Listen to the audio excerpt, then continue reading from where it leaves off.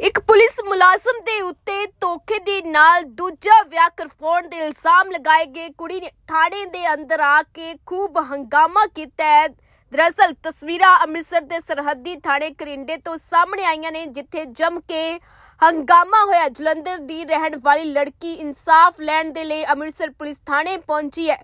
ਕੁੜੀ ਨੇ ਗੰਭੀਰ ਇਲਜ਼ਾਮ ਲਗਾਏ ਕਿ ਪੁਲਿਸ ਥਾਣੇ ਦੇ ਮੁਲਾਜ਼ਮ ਨੇ ਉਸ ਦੇ ਨਾਲ ਧੋਖੇ ਨਾਲ ਵਿਆਹ ਕਰਵਾਇਆ। ਵਿਆਹ ਤੋਂ ਪਹਿਲਾਂ 4 ਮਹੀਨੇ ਨਾਲ ਰੱਖਿਆ, ਜਿਸ ਨੇ ਗੁਰਦੁਆਰੇ ਦੇ ਵਿੱਚ ਆਨੰਦ ਕਾਰਜ ਵੀ ਕਰਵਾਏ ਨੇ ਤੇ ਉਸਨੇ ਇਹ ਵੀ ਇਲਜ਼ਾਮ ਲਗਾਏ ਕਿ ਧੱਕੇ ਦੇ ਨਾਲ ਦਵਾਈ ਖਵਾ ਕੇ ਅਬੋਰਸ਼ਨ ਵੀ ਕਰਵਾਇਆ ਜਾਂਦਾ ਹੈ। ਸੋ ਤਸਵੀਰਾਂ ਤੁਸੀਂ ਸਕਰੀਨ ਤੇ ਦੇਖ ਸਕਦੇ ਇਸ ਕੁੜੀ ਦੇ ਵੱਲੋਂ ਗੰਭੀਰ ਇਸ ਪੁਲਿਸ ਮੁਲਾਜ਼ਮ ਦੇ ਉੱਤੇ ਇਲਜ਼ਾਮ ਲਗਾਏ ਜਾ ਰਹੇ ਨੇ। ਇੱਕ ਵਾਰ ਤਸਵੀਰਾਂ ਦਾ ਰੁਖ ਕਰ ਲੈਂਦੇ ਹਾਂ, ਉਹਨਾਂ ਦੀ ਜ਼ੁਬਾਨੀ ਸੁਣ ਲੈਂਦੇ ਹਾਂ ਕਿ ਆਖਿਰਕਾਰ ਪੂਰਾ ਮਾਮਲਾ ਕੀ ਹੈ।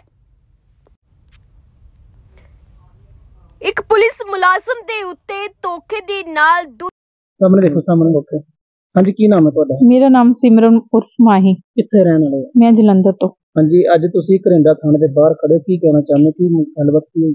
ਗੱਲਬਾਤ ਇਹ ਹੈ ਕਿ ਇੱਥੇ ਅੰਦਰ ਚੌਂਕੀ ਇੰਚਾਰਜ ਵਿਕਟਰ ਸਿੰਘ ਉਹਨਾਂ ਨੇ ਮੇਰੇ ਨਾਲ ਮੈਰਿਜ ਕਰਾਈ ਮੇਰੇ ਹਸਬੰਡ ਨੇ।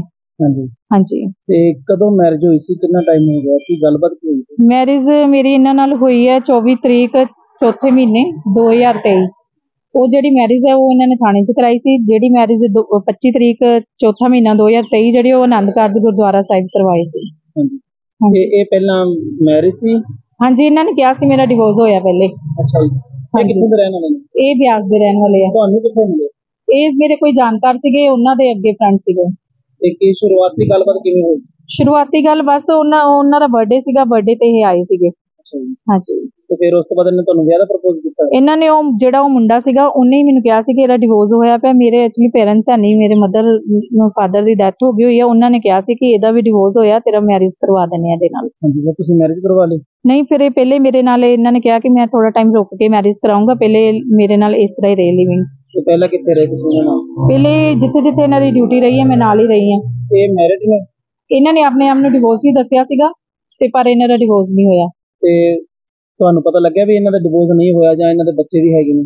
ਹਾਂਜੀ ਮੈਨੂੰ ਬੱਚਿਆਂ ਦਾ ਪਹਿਲੇ ਤੋਂ ਹੀ ਪਤਾ ਸੀ ਕਿ ਬੱਚੇ ਹੈਗੇ ਨੇ ਬਟ ਇਹਨਾਂ ਦਾ ਡਿਵੋਰਸ ਹੋਇਆ ਹੋਇਆ ਪਰ ਡਿਵੋਰਸ ਹੋਇਆ ਨਹੀਂ ਇਹਨਾਂ ਦਾ।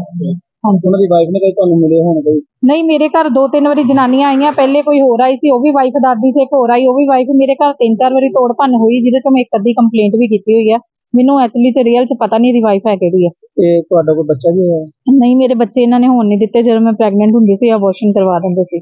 ਕਿੰਨਾ ਸਮਾਂ ਤੁਹਾਡੇ ਨਾਲ ਰਿਲੇਸ਼ਨ ਕਰੇ ਮੇਰੇ ਨਾਲ ਤਕਰੀਬਨ ਇਹ ਰਹੀ ਆ 2-3 ਸਾਲ। ਤੇ ਹੁਣ ਕੀ ਗੱਲਬਾਤ ਹੁਣ ਕੀ ਤੁਹਾਨੂੰ ਛੱਡ ਛੱਡ ਚੁੱਕੇ ਨੇ? ਛੱਡ ਚੁੱਕੇ ਇਸ ਤਰ੍ਹਾਂ ਵੀ ਇਹਨਾਂ ਦਾ ਹੋਰ ਵੀ ਜਨਾਨੀਆਂ ਨਾਲ ਰਿਲੇਸ਼ਨ ਹੈਗੇ ਨੇ ਕਾਫੀ ਵਾਰੀ ਇਹਨਾਂ ਦੇ ਫੋਨਾਂ 'ਚੋਂ ਕਈ ਕੁਝ ਫੜਿਆ ਵੀ ਗਿਆ। ਹੂੰ। ਉਸ ਤੋਂ ਬਾਅਦ ਕਿ ਇਹ ਕਹਿ ਦਿੰਦੇ ਆਪਣੇ ਆਪ ਹੀ ਛੱਡ ਕੇ ਚਲ ਜਾਂਦੇ ਆ ਕਿ ਆ ਮੇਰੀ ਇੱਥੇ ਆ ਲੱਗੀ ਹੋਈ ਆ ਟ੍ਰੇਨਿੰਗ ਕੋਰਸ ਤੇ ਮੈਂ ਚੱਲਣਾ ਆ ਤੇ ਪਰ ਇਹ ਆਪਣੀ ਪਹਿਲੀ ਵਾਈਫ ਦੇ ਕੋਲ ਚਲ ਜਾਂਦੇ ਆ ਮੈਨੂੰ ਛੱਡ ਕੇ। ਤੇ ਫਿਰ ਹੁਣ ਤੁਸੀਂ ਕੀ ਇਹਨਾਂ ਪੁਲਿਸ ਕੰਪਲੇਂਟ ਕੀਤੀ ਹੈ? ਮੈਂ ਅਕਤੂਬਰ ਮਹੀਨੇ ਤੋਂ ਐਸਐਸਪੀ ਸਰ ਜਿਹੜੇ ਆ, ਅੰਮ੍ਰਿਤਸਰ ਦੇ ਹਾਥੀ, ਉਹਨਾਂ ਨੂੰ ਕੰਪਲੇਂਟ ਦਿੱਤੀ ਹੈ, ਪਰ ਅੱਜ ਤੱਕ ਉਸ ਕੰਪਲੇਂਟ ਤੇ ਕੋਈ ਵੀ ਕਾਰਵਾਈ ਨਹੀਂ ਕੀਤੀ ਗਈ। ਮੈਨੂੰ ਬਾਰ-ਬਾਰ ਬੁਲਾ ਕੇ ਜਿਹੜੇ 6 ਮਹੀਨੇ ਪੁਰਾਣੇ ਮੇਰੇ ਬਿਆਨ ਆ, ਉਹੀ ਬਿਆਨ ਮੈਨੂੰ ਦਿਖਾ ਦਿੰਦੇ ਕਿ ਮੈਡਮ ਤੁਹਾਡੇ ਬਿਆਨ ਨੋਟ ਆ। ਅੱਜ ਵੀ ਸਵੇਰੇ ਮੈਨੂੰ 9 ਵਜੇ ਦਾ ਮੈਂ ਘਰੋਂ 8:30 9 ਵਜੇ ਦੀ ਚੱਲੀ ਆ 11 ਵਜੇ ਪਹੁੰਚ ਗਈ 11 ਵਜੇ ਤੋਂ ਲੈ ਕੇ ਇਹਨਾਂ ਨੇ ਸਾਰਿਆਂ ਨੂੰ ਅਫਸਰਾਂ ਨਾਲ ਮਿਲਾਤਾ ਪਰ ਮੈਨੂੰ ਨਹੀਂ ਮਿਲਾਇਆ ਕਿਹਾ ਅਫਸਰ ਚੱਲ ਗਏ ਨੇ। ਤੇ ਤੁਹਾਡੀ ਜਿਹੜੀ ਮੈਰਿਜ ਹੋਈ ਸੀ ਉਹ ਆਨੰਦ ਕਾਰਜ ਹੋਈ ਸੀ ਜਾਂ ਕੋਈ ਕੋਰਟ ਮੈਰਿਜ ਨਹੀਂ ਨਹੀਂ ਮੇਰੇ ਆਨੰਦ ਕਾਰਜ ਆਨੰਦ ਕਾਰਜ ਆ। ਹੈਗੇ ਮੇਰੇ ਕੋਲ ਸਾਰੇ ਪ੍ਰੂਫ ਨੇ? ਤੁਸੀਂ ਕੀ ਡਿਮਾਂਡ ਕਰਦੇ ਹੋ? ਮੈਂ ਇਹੀ ਕਹਿੰਨੀ ਆ ਕਿ ਇਹਨਾਂ ਤੇ ਬਣਦੀ ਕਾਰਵਾਈ ਹੋਣੀ ਚਾਹੀਦੀ ਹੈ ਕਿਉਂਕਿ ਇਹਨਾਂ ਨੇ ਤਿੰਨ ਚਾਰ ਵਾਰੀ ਅਬੋਰਸ਼ਨ ਕਰਵਾਇਆ ਮੇਰਾ। ਉਸ ਤੋਂ ਬਾਅਦ ਇਹਨਾਂ ਨੇ ਜਲੰਧਰ ਆ ਕੇ ਵੀ ਇਹ ਮੰਨਿਆ ਕਿ ਮੇਰੀ ਵਾਈਫ ਆ ਮੈਂ ਨਾਲ ਹੀ ਰਹੂੰਗਾ ਕਿ ਮੈਂ ਦੁਬਾਰਾ ਨਹੀਂ ਕੋਈ ਵੀ ਇਦਾਂ ਦੀ ਗਲਤੀ ਕਰੂੰਗਾ।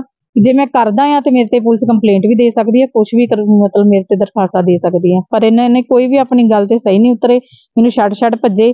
ਦੋ ਤਿੰਨ ਵਾਰੀ ਇਹਨਾਂ ਨੇ ਮੈਨੂੰ ਮਰਨ ਲਈ ਮਜਬੂਰ ਵੀ ਕੀਤਾ। ਆ ਪਰਸੋਂ ਵੀ ਆਏ ਤਿੰਨ ਚਾਰ ਬੰਦੇ ਲੈ ਕੇ। ਉਦੋਂ ਵੀ ਇਹਨਾਂ ਨੇ ਮੇਰੀ ਸ਼ਾਨ ਦੇ ਖਿਲਾਫ ਬਹੁਤ ਕੁਝ ਮੈਨੂੰ ਬੋਲਿਆ, ਜਿਹਦੇ ਤੋਂ ਇਹਨਾਂ ਨੇ ਮੈਨੂੰ ਮੈਡੀਸਨ ਮੇਰੇ ਮੂੰਹ ਤੇ ਮਾਰੀ, ਖਾ ਕੇ ਮੇਰਾ ਪਿੱਛਾ ਛੱਡ ਤੇ ਮੈਂ ਉਹ ਖਾ ਲਈ।